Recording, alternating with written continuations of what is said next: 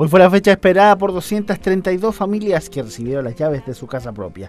Estas corresponden a los proyectos Monte Fenton, Monte Sarmiento y Monte Aymon, que estaban compuestos por viviendas cuadripareos y edificios, con una inversión de más de 10 mil millones de pesos. Este sector, este barrio,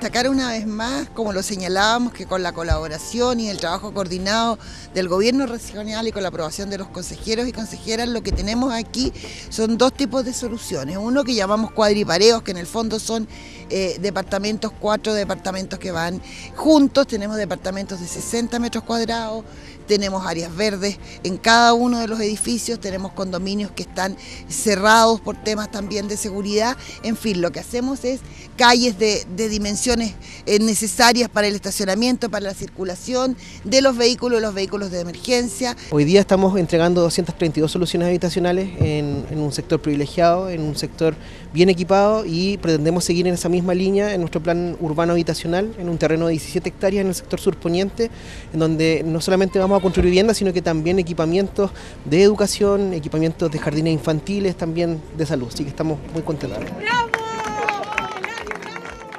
Los más felices con la entrega de estas viviendas eran los propietarios.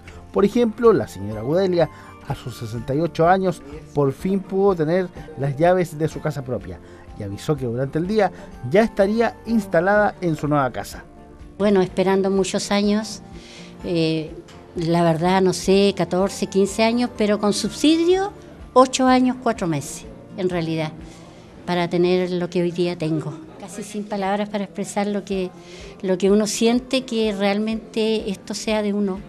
Y feliz, realmente muy contenta, agradecida de Dios en primer lugar, porque sé que si Diosito no me hubiese traído hasta, hasta acá, donde yo estoy hoy día, esto no habría sido posible gracias a Él.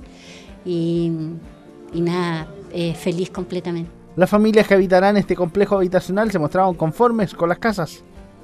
Estoy muy agradecido por, después de cuatro años, eh, junto a mi familia, luchar y cumplir nuestro gran sueño. Y espero que toda la gente pueda cumplir su sueño y que luche por ese sueño.